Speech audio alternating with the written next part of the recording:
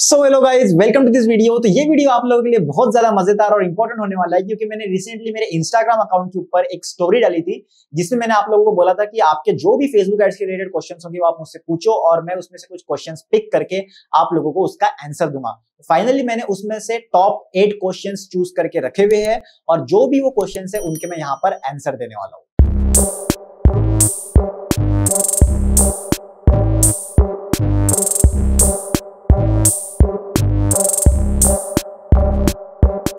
तो स्टार्ट करते हैं हमारे क्वेश्चन नंबर वन के साथ में। और क्वेश्चन नंबर वन हमारा है यश वर्मा की साइड से, जो कि बोलते हैं कि अचानक से सीपीपी डबल हो जाए या रिजल्ट्स खराब आने लगे तो क्या करे in few days after testing तो देखो, सबसे पहले तो कैसा होता है ना कभी कभी फेसबुक एड्स के अंदर क्या होता है कि आपका कोई प्रोडक्ट चल रहा है और एकदम से उसका रिज़ल्ट थोड़ा सा डाउन हो जाता है तो आपको उसको उस दिन एकदम से बंद नहीं करना है। हमेशा आपको डेटा को जज करना है पास्ट थ्री डेज़ के बेसिस पे। पास्ट थ्री डेज़ का जो भी एवरेज है उसके अकॉर्डिंग डिसाइड किया जाएगा कि वो हमारा कैंपेन एडसेट या एड जो भी है, उसको बंद किया जाए या पॉज किया जाए या फिर प्रोडक्ट का क्या किया जाए करके। हमेशा पास थ्री डेज़ के डेटा पर ही आपको ये चीज़ें जज करनी है। ठीक है? और उसके बाद भी अगर आपका ये सीपीपी डबल ही रहता है कि पास थ्री डेज़ का एवरेज भी खराब हो गया और सब कुछ खराब हो गया तो भाई यहाँ पर एक ही चीज़ बचती है और वो है आपको नए क्रिएटिव मार्केट के अंदर लाने पड़ेंगे। जो भी आपका प्रोडक्ट है, उसके आप नए क्रिएटिव रेडी कीजिए और उस नए क्रिएटिव को आप मार्केट के अंदर आपके उस प्रोडक्ट के साथ में छोड़ दीजिए तो बहुत ज़्यादा चांसेस बढ़ जाते हैं कि आपका वो प्रोडक्ट वापस से चलने लगे। Now question number two is Hammad Siddiqui से हमारा एक क्वेश्चन आया है। भाई one more question single interest targeting better work करती है या टेस्टिंग में या इंटरेस्ट टैकिंग मतलब बेसिकली ये कहना चाहते हैं कि सिंगल इंटरेस्ट हमारे एसेट्स के अंदर हम डालें या फिर इंटरेस्ट को स्टैक करके रखें। मतलब सिंगल इंटरेस्ट मतलब सिर्फ़ एक ही इंटरेस्ट डाले या फिर स्टैकिंग मतलब मल्टीपल तीन, चार, पाँच इंटरेस्ट अपने एक ही एसेट के अंदर डाल दे। तो देखो पर्सनली तो मैं जब भी टेस्टिंग करता हूँ ना तो मैं हमेशा उसके अंदर सिंगल इंटरेस्ट ही रखता हूँ। लेकिन कभी कभी आपको जो डिसीज़न होता है, वो प्रोडक्ट के अकॉर्डिंग भी लेना पड़ता है। जैसे मैं आपको एग्ज़ाम्पल देता हूँ जब जब भी मैं कोई कोई भी मैं नॉर्मली प्रोडक्ट को टेस्ट कर रहा हूँ तो मैक्सिमम ऑफ़ दी प्रोडक्ट्स में लेट से हंड्रेड प्रोडक्ट्स मैं टेस्ट करने जा रहा हूँ तो उसमें से एटी टू नाइनटी प्रोडक्ट्स तो ऐसे होते हैं जिसमें मैं सिंगल इंटरेस्ट डालूँगा, उसके जितने भी एडसेट्स में क्रिएट करने वाला उन सब में। लेकिन कुछ प्रोडक्ट ऐसे होते हैं जिसमें आपको स्टैकिंग करना नेसेसरी बन जाता है। मैं एक एग्जांपल भी देता हूँ आपको। रिसेंटली रिसेंटली बात नहीं है एक्चुअली मेरे ख्याल से कुछ जुलाई, अगस्त पिछले मंथ पिछले साल की बात आ रहा हूँ, ठीक है? मतलब अभी दस महीना तो हो ही गया उस चीज़ को। सो so बेसिकली तब मैंने एक क्लाइंट के लिए काम किया था तो उसके अंदर क्या था, उनका जो प्रोडक्ट था, वो हर्ब रिलेटेड था हर्बल्स और जो आयुर्वेदा नीचे होती है ना, उसके रिलेटेड था और उसमें वो बालों का ऑयल बेच रहे थे, ठीक है? सो उसमें कैसा सीन था? मैंने उनके लिए काम किया। तो पहले बेसिकली मैंने, मेरा जो सिंगल इंटरेस्ट ट्रैकिंग का काम होता है, मैंने वही उसके अंदर लगाया, लेकिन तीन चार दिन तक देखा तो उसमें बिल्कुल भी रिज़ल्ट नहीं आ रहे थे। फिर मैंने सोचा कि इसके अंदर किया क्या जाए? तो मैंने क्या किया? जो भी हेयर जैसे मैंने एक कैंपेन क्रिएट किया, उसके अंदर पाँच एडसेट्स डाल दिए और पाँचों एडसेट्स के अंदर पहले तो सिंगल सिंगल सिंगल इंटरेस्ट डाल दिया अपना जो जो था वो, ठीक है? वो हेयर रिलेटेड जो भी इंटरेस्ट होंगे, पाँच वो मैंने डाल दिए।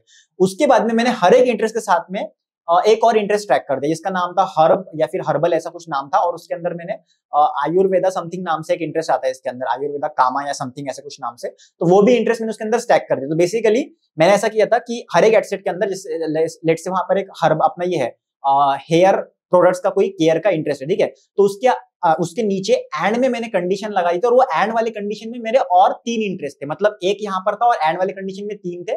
एक हर्ब था शायद से, एक हर्बल था और एक आयुर्वेदा काम ऐसे कुछ तो मेरे इंटरेस्ट थे, ठीक है? तो हर एक एडसेट के अंदर मैंने ऐसा स्टैकिंग कर लिया था उस केस में। तो बेसिकली प्रोडक्ट के अकॉर्डिंग आपको डिसाइड करना पड़ेगा। अभी यहाँ पर क्या हुआ? इनका प्रोडक्ट थोड़ा सा ऑफकोर्स हेयर रिलेटेड था हेयर केयर के रिलेटेड प्रोडक्ट था इनका।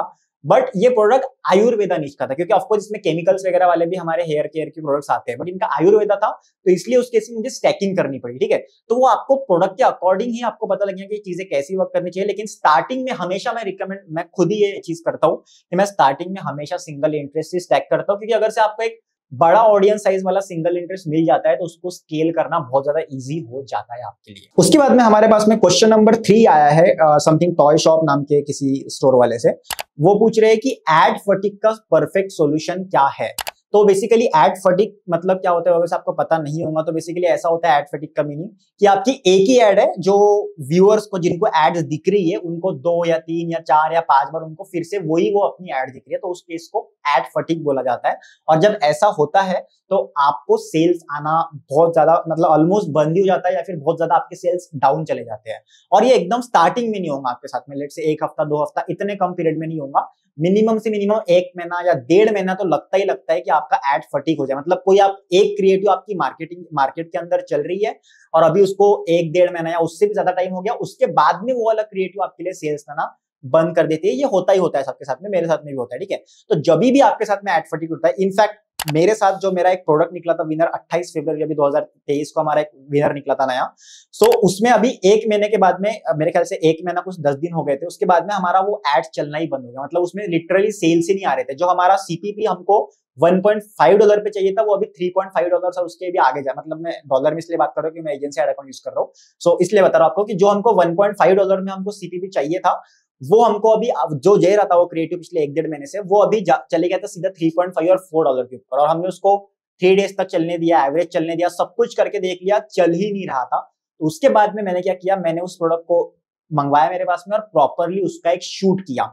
जब उसका शूट किया, उसको एडिटिंग बहुत उसकी ढंग से की, बहुत अच्छे तरीके से की। इनफैक्ट मैं सोच रहा हूँ कि अगर से वो प्रोडक्ट मेरा जब भी मैं सेचुरेट हो जाएगा उसको बंद करना मैं सेल करना बंद कर दूँगा तो मैं चाहता हूँ कि मैं आपको वो मेरे क्रिएटिव दिखाऊँ कि मैंने उसके क्रिएटिव बहुत अच्छे से बहुत अच्छे से शूट किया और जस्ट पाँच दस मिनट में शूट किया जस्ट मेरे इधर बाहर जाके इधर गार्डनिंग एरिया उधर जाके ठीक है? सो so, ऑफकोर्स मैं वो क्रिएटिव भी शेयर करूँगा लेकिन बेसिकली मैं इतना कहना चाहता हूँ अगर एड फटिक होता है तो आपको मार्केट के अंदर नए क्रिएटिव लाने चाहिए उससे ही आपका एड फटिक बंद हो सकता है। या फिर आपको खुद के प्रोडक्ट का, खुद का शूट करो या करो खुद से, या फिर करवाओ किसी से। और उसको अच्छी एडिटिंग करके फिर से मार्केट के अंदर आपके बेस्ट वर्किंग इंटरेस्ट जो ऑलरेडी चल रहे थे, उनके साथ में उनको उतारो आपके नए क्रेडिट्स को। तो वो बहुत ज़्यादा अच्छे वर्क करते हैं। और वापस से हमारा जो अभी एड जो हमारा कॉस्ट पर रिज़ल्ट है, वो 1.5 से 2 डॉलर तक आ चुका है। ये मेरे साथ हुआ है, इसलिए मैं आपको बता रहा हूँ, ये रिसेंटली मेरे साथ में हुआ है, ठीक है? उसके बाद में गई हमारा फोर्थ नंबर का क्वेश्चन आया है, विकास सैनी से। जो कि कहते हैं ad scaling after 15 days with good result तो देखो एड स्केलिंग कैसी होती है? वो 15 डेज़ में हो 10 डेज़ में हो 3 डेज़ में हो, उससे कोई फ़र्क नहीं गिरता। एड स्केलिंग में सिंपल होता है कि लेट से आप जब टेस्टिंग कर रहे हो पहली चीज़ तो जो टेस्टिंग में कैसा होता है? आप एबीओ अगर से लगाते हो आप तो एबीओ में आप मिनिमम 500 500 500 का हर एडसेट का बजट देते हो। आप सीबीओ लगा रहे हो तो शायद हज़ार, पंद्रह सौ या दो हज़ार तक का आप बजट देते हो।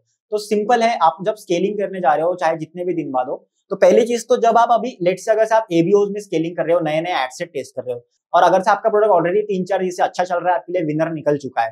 तो उसमें मैं रिकमेंड करूँगा कि फिर एडसेट्स जो आप नए एडसेट्स क्रिएट करने जा रहे हो, उनका बजट कम देना ही क्यों है? पाँच या छह इतना कम बजट देना क्यों उनको आप स्टार्टिंग ही हज़ार से करो, जिससे आप टेन ट्वेंटी से बजट से जब उनको इंक्रीज करके देखो स्केलिंग में कैसा होता है ना, हमेशा इसका ध्यान में रखना कि स्केलिंग में कभी भी जो बजट्स होते हैं, वो फिफ्टी परसेंट सिक्सटी परसेंट से हमें इंक्रीज नहीं करने, किसी भी कैंपेन या किसी भी एडसेट्स के, नहीं तो आपका फेसबुक कैंपेन एडसेट आपका पूरा बिगड़ जाता है। उनको हमेशा हमें इंक्रीज करना पड़ता है टेन परसेंट से या फिर ट्वेंटी परसेंट से और बहुत बहुत ही बहुत ही मतलब मैक्स केसेस मतलब मिनिमम केसेस में थर्टी परसेंट तक से आप इंक्रीज कर सकते हो। लेकिन मैं हमेशा टेन टू ट्वेंटी के बीच में खेलता हूँ, ठीक है?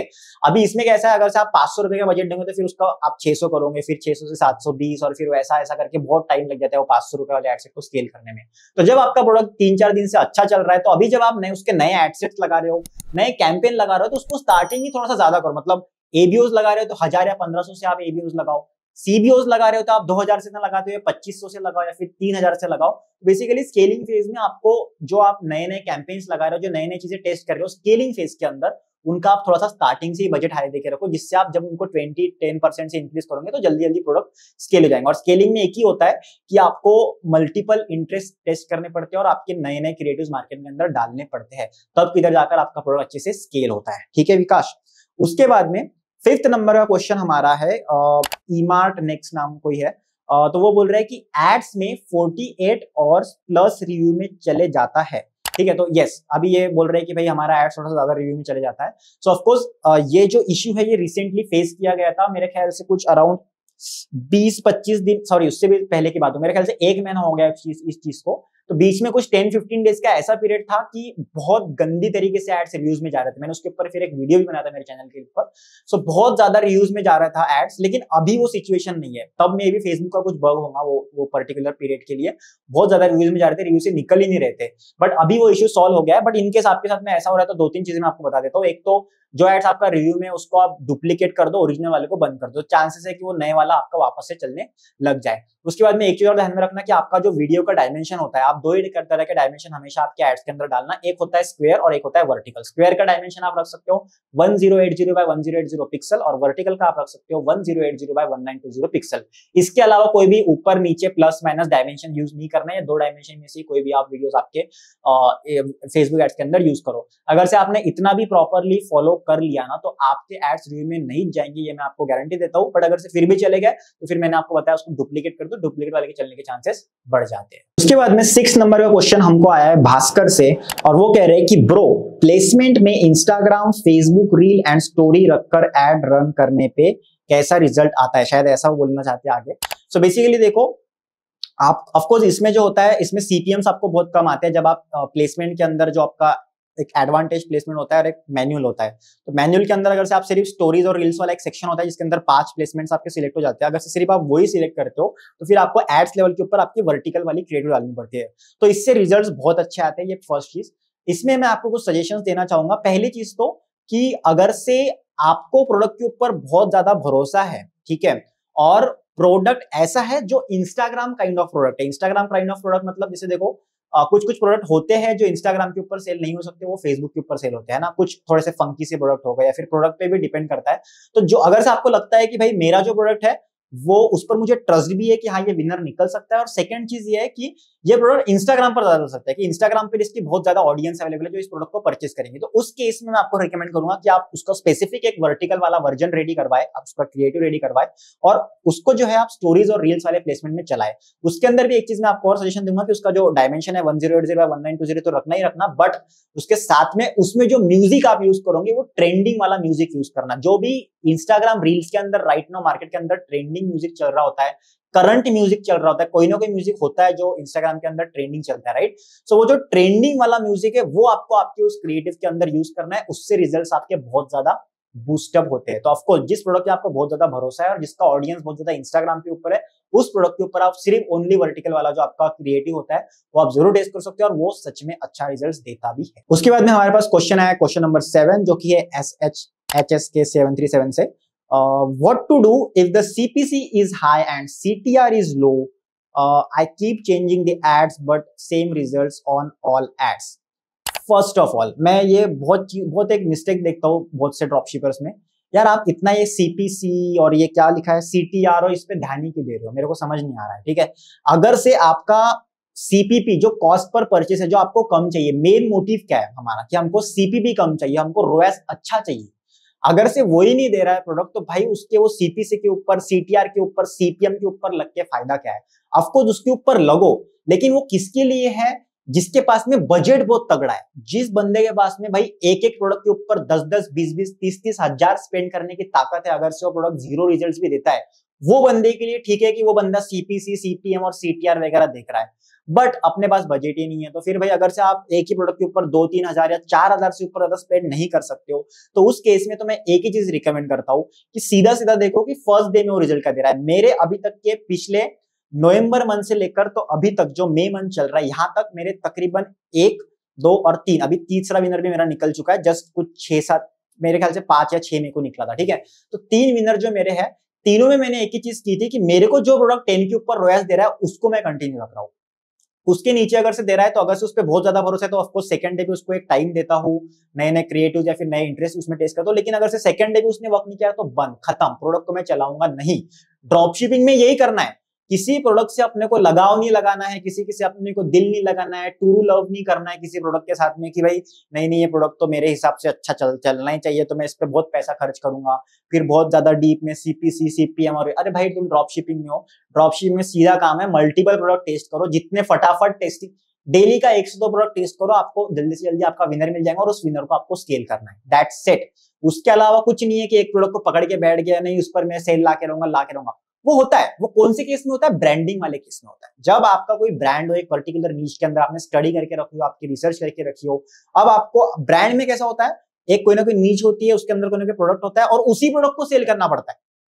जब ये केस है ऑफकोर्स उस केस के अंदर आपको सीपीएम सीपीसी और वो सब चीज़ें आपको देखना है बट ड्रॉप शिपिंग में नहीं देखना है यार। ड्रॉप शिपिंग में कम ऑन जस्ट आप प्रोडक्ट मल्टीपल प्रोडक्ट टेस्ट करो, जो विनर निकलता है उसको सेल करो, ठीक है? पहला या दूसरा दिन, ज़्यादा से ज़्यादा दो दिन दे दो प्रोडक्ट को तीन चार हज़ार रुपए मैक्स एक प्रोडक्ट के ऊपर स्पेंड कर दो। अगर से आपको दस के ऊपर वैस नहीं दे रहा है तो वैसे ही वो विनर नहीं निकलने वाला है। ये मेरा पर्सनल एक्सपीरियंस पर से मैं बोल रहा हूँ। मैंने बहुत चीज़ें देख लिया ड्रॉप शिपिंग में, इसलिए बता रहा हूँ, जो प्रोडक्ट दस के ऊपर वैस नहीं दे रहा है, उसको बाद में और आगे टेस्टिंग मत करो। कोई फ़ायदा नहीं उसके ऊपर की मैं सीपीसी देखता हूँ सीपीएम देखता हूँ करके, ठीक है? उसके बाद में हमारा लास्ट क्वेश्चन आया है मयूर ताइडे से जो कि कहते हैं can you make one beginning video on how to set up Facebook ads account in 2023 please so ये लास्ट क्वेश्चन है। सो so बेसिकली देखो जो आपके फेसबुक एड अकाउंट्स होते हैं ना उसमें कैसा होता है कि आपके पास कम से कम जो है तीन प्रोफाइल्स होनी चाहिए फेसबुक की आपके एक ही डिवाइस के अंदर ठीक है? सो so, एक जो प्रोफ़ाइल रहेंगी वो रहेंगी owner ownership of business manager ad account page pixel and everything जो भी आपके फेसबुक के एसेट्स है, उसका वो जो प्रोफ़ाइल नंबर वन है, वो ओनर रहेंगे ठीक है? अभी आपको क्या करना है, एक सेकंड प्रोफ़ाइल भी आपके पास में रहेंगी तो ये फ़र्स्ट ओनर क्या करेगा, इस सेकंड प्रोफ़ाइल को एडमिन एसेस देके रखेगा इन सारे फेसबुक एसेट्स के, ठीक है? जिससे अगर से हमारा ओनर कभी फ्यूचर में ओनर के लेवल पे मतलब पर्सनल एड अकाउंट अगर से ओनर का रिस्ट्रिक्ट हो जाता है, जिस वजह से वो कुछ चेंजेस नहीं कर सकता है एसेट्स के अंदर तो हमारा जो सेकंड एडमिन है वो उसमें अभी भी अवेलेबल है और वो मल्टीपल चेंजेस कर सकता है अपने एसेट्स के अंदर। अभी, इसके अलावा ये दो प्रोफाइल्स के अलावा ओनर और एडमिन के अलावा हमारे पास में एक थर्ड नंबर की प्रोफ़ाइल भी होनी चाहिए, जो रहेंगी हमारी इंप्लॉय एसेस वाली प्रोफ़ाइल सो बेसिकली थर्ड वाले प्रोफ़ाइल में आप सिर्फ़ इंप्लॉय एसेस देखे रखोगे। इसमें कैसा सीन होता है? इसमें आप सारे एसेट्स के इंप्लॉय एसेस देखे रखते हो। अभी जो भी आपको एड्स मैनेज करना है, क्या नया कैंपेन क्रिएट करना है, नया एडसेट क्रिएट करना है पिक्सल्स वगैरह इधर उधर सब कनेक्ट करना है नया पेज ऐड करना है। वो जो भी चीज़ें आपको करनी है, वो आप अभी इंप्लॉय एसेस से करोगे। जो भी एड्स मैनेजमेंट का आपका काम है, वो सारा का सारा काम जो है आपके इंप्लॉय वाली प्रोफ़ाइल से होगा। इस केस में हमें फ़ायदा ऐसा रहता है इंप्लॉय प्रोफ़ाइल को वैसे ही फेसबुक ज़्यादा भाव देता नहीं है तो इनकेस अगर से इंप्लॉय प्रोफ़ाइल बैन भी हो जाती है उस बिज़नेस मैनेजर वाले इन्वायरमेंट के अंदर तो फिर भी एडमिन को कोई भी धक्का लगता नहीं है और ओनर को भी कोई धक्का लगता नहीं है। ओरिजिनल एसेट भी हमारे सेफ़ रहते हैं। और सिंपली आप क्या कर सकते हो, अगर से इंप्लॉय वाला आपका बैन भी हो गया एडमिन के हेल्प से आप ये इम्प्लॉय वाले को बाहर फेंक के निकाल दो और एक प्रोफ़ाइल खरीद लो, उसके अंदर उसको इम्प्लॉय एसेस दे दो। तो ये चीज़ें करके आपका जो फेसबुक एड का सेटअप है, वो आप बहुत अच्छे से चला सकते हो और आपके लिए बहुत ज़्यादा सिक्योर्ड भी रहता है। इसमें भी एक चीज़ बताना चाहूँगा कि अगर से आप एजेंसी एड अकाउंट्स यूज़ करते हो तो उसके ऊपर भी आपको थोड़ा सा फोकस करना चाहिए, क्योंकि एजेंसी एड अकाउंट्स मैं भी पर्सनली यूज़ कर रहा हूँ। थोड़े से सेफ़ होते हैं as compare to normal ad accounts normal accounts में बहुत जल्दी बैनिंग्स वगैरह, ये सब प्रॉब्लम चलती रहती है टाइम टू टाइम अभी तो नहीं चल रही राइट नाउ बट कोई ना कोई एक पर्टिकुलर मंथ्स होते हैं, कोई ना कोई पर्टिकुलर डेज़ होते हैं, हर एक ईयर के अंदर जब बहुत ज़्यादा बैनिंग चढ़ जाती है फिर हमारा बिज़नेस पूरा रुक जाता है। तो भाई आप एजेंसी एड अकाउंट्स वगैरह भी आप यूज़ करा करो और साथ ही साथ जो मैंने आपको ये तीन प्रोफ़ाइल का सेटअप बताया ओनर एडमिन एंड एम्प्लॉय इसके ऊपर भी आपको ज़रूर ध्यान देना है, ठीक है? बाकी अगर से आपको ये सब नहीं पता कि ऐसे कैसे सेटअप करने आपके जस्ट एक डिवाइस के ऊपर कैसे आप multiple ten twenty fifty hundred जितने आपको एड अकाउंट सेटअप करने एजेंसी एड अकाउंट वगैरह लेना ये अगर आपको सेटअप करना नहीं पता एजेंसी एड अकाउंट वगैरह चाहिए तो सब चीज़ों के ऊपर मैंने क्लब करके ऑलरेडी आप लोगों के लिए एक फेसबुक बैन सोल्यूशन नाम से कोर्स बनाया हुआ है। मैं उसका लिंक नीचे डिस्क्रिप्शन दे रहा हूँ, आप उसके अंदर ज़रूर इनरोल कर सकते हो। बाकी गई इस वीडियो में सिर्फ़ इतना ही। अगर से आपको वीडियो पसंद आया तो आप मुझे लाइक ज़रूर कर देना इस वीडियो को। बाकी आप मुझे कॉमेंट सेक्शन में बताना कि आपको इस टाइप का वीडियो कैसा लगा? क्योंकि ये टाइप का वीडियो मैंने पहली बार बनाया कि जिसमें मैं क्वेश्चन आप लोगों से इंस्टाग्राम पे लिए और फिर उसके यहाँ पर आंसर कर कैसा आपको लगा वो मुझे ज़रूर कमेंट सेक्शन में बताना। आप ऐसे वीडियोस और चाहते हो क्या, वो भी मुझे कमेंट सेक्शन में बताना। और बाकी अगर आपने मेरे को इंस्टाग्राम पे फॉलो करके नहीं रखा है तो वहाँ पे ज़रूर फॉलो करके रखना ऐसे टाइप के अपडेट्स के लिए। उसके अलावा अगर आपको ई कॉमर्स ड्रॉप शिपिंग और फेसबुक एड्स के कंटेंट में इंटरेस्ट है तो मुझे सब्सक्राइब करना ना भूलना। इस वीडियो के लिए सिर्फ़ इतना ही। मिलता हूँ मैं आपको नेक्स्ट वीडियो में।